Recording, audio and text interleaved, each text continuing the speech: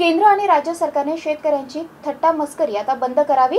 शेतीसाठी लागणाऱ्या रासायनिक खतांच्या किमती वाढवून शेतकऱ्यांच्या छळाचा आता महाराष्ट्र नवनिर्माण सेनेच्या वतीनं रूमने हातात घेऊन उत्तर दिले जाईल असा इशारा जाफराबाद मनसेचे पंढरीनाथ म्हस्के यांनी तहसीलदार यांना दिलेल्या निवेदनामध्ये दिला आहे. केंद्र सरकार आणि महाराष्ट्र सरकार यांनी शेतकऱ्यांना दिलासा देण्याऐवजी छळ सुरू केला आहे. जेव्हा शेतकरी राबराब राबून शेतमाल पिकवतो तेव्हा त्याच्या पिकलेल्या मालाचा कवडीमोल भाव देऊन रक्त शोषण केले जाते. जेव्हा शेतकऱ्यांनी घरातील माल विकला तेव्हा भाव वाढ होते.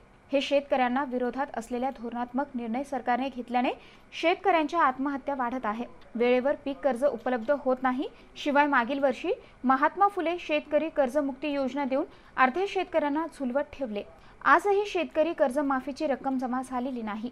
म्हणून बँकेच्या दारामध्ये चक्रा मारून हैराण झालेले असताना काही दिवसांवर आलेल्या खरीप हंगामातील पेरणीची वेळ तोंडावर येताच रासायनिक खतांची किमतीत वाढ करून शेतकऱ्यांना मोठा झटका दिलाय. यामुळे चिंताग्रस्त शेतकऱ्यांनी न्याय कुणाकडे मागायचा असा प्रश्न शेतकऱ्यांना पडलाय. सत्तेवर आले तेही तसेच आणि विरोधी पक्षाचे नेतेही तसेच. याकडे शासनाने विशेष लक्ष वेधून शेतकऱ्यांना दिलासा देण्यासाठी तातडीने खतांची किमती वाढ रद्द करून शेतकऱ्यांना न्याय मिळवून देण्यासाठी महाराष्ट्र नवनिर्माण सेनेच्या वतीनं तहसील कार्यालयावर रूमने मोर्चा काढण्यासाठी मनसेचे पदाधिकारी सज्ज झाले आहेत. याकडे सर्वांचे लक्ष वेधावे. याकरिता जाफराबाद तालुका तहसीलदार यांना एक निवेदन सादर करण्यात आलं आहे असे पंढरीनाथ मस्के पाटील यांनी सांगितलंय. Raosaheb Ambhore MCN news Jafrabad.